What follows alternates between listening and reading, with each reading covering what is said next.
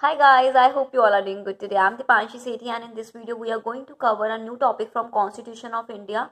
So guys, हम लोगों ने last video के अंदर भी basic structure discuss किया था Constitution का and in this video as well we are going to discuss the basic structure of Constitution. तो आज का हमारा topic है rule of interpretation in Constitution. So guys, basically ये बोलता है कि जब भी what will happen in the case you have an ambiguity ambiguity क्या होता है when you have two or more interpretation तो पहले हम समझते हैं when there will be no ambiguity the literal rule will apply and there will be no need of giving interpretation मतलब जब एम्बिग्विटी नहीं है तो उस केस के अंदर लिटरल रूल अप्लाई होगा और कोई इंटरप्रिटेशन देने की भी ज़रूरत नहीं है एज इट इज़ हो जाएगा, ठीक है?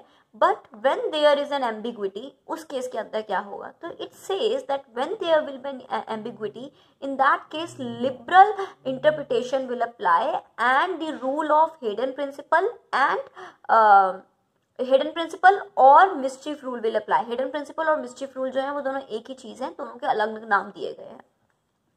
तो ये बेसिक अब हिडन प्रिंसिपल और मिस्चिफ प्रिंसिपल क्या बोलता है हिडन प्रिंसिपल और मिस्चिफ रूल क्या बोलता है? ये बोलता है कि जब भी कोई लॉ इंट्रोड्यूस होता है सोसाइटी में तो वो इसलिए इंट्रोड्यूस होता है ताकि सोसाइटी के अंदर जो भी मिस्चिफ है, उसको दूर किया जा सके।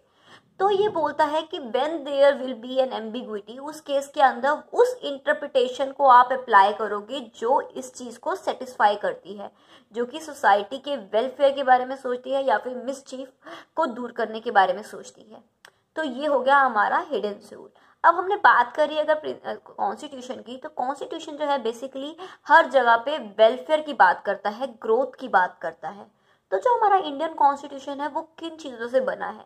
हमारा जो इंडियन कॉन्स्टिट्यूशन है बेसिकली ये रिटर्न और express provisions plus judicial decisions plus practice और कन्वेंशन से हमारा कॉन्स्टिट्यूशन बना है। ठीक है? तो ये तीनों चीज़ें मिलाकर हमारा कॉन्स्टिट्यूशन बना है। अब रिटर्न प्रोविजंस कौन से हो गए? जो भी आर्टिकल्स हमारे कॉन्स्टिट्यूशन के अंदर मेंशन है, वो हो गए हमारे रिटर्न प्रोविजंस उसके बाद जुडिशियल डिसीजंस कहाँ हुआ? जैसे कि हमें पता है, हमारी जुडिशरी जो है इंडिपेंडेंट है।